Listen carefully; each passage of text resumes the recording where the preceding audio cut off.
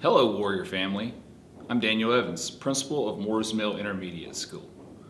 We are so excited that you're getting the opportunity this week to spend time with family and friends. We hope your week is full of love, laughter, and lots of food. And there may be a little football game played at the end of the week. We also want to take this opportunity to say thank you. Thank you to our families, to our students, to all of you who make up the culture of learners that we have here at Moores Mill.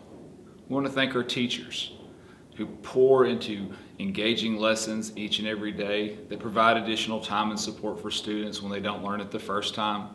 Also providing extension opportunities for students uh, to take their learning further.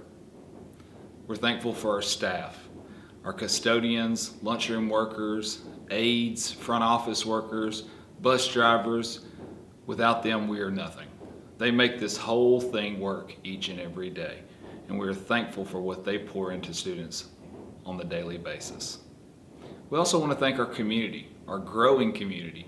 Community is getting bigger day by day, and we have seen the effects of support from certain organizations.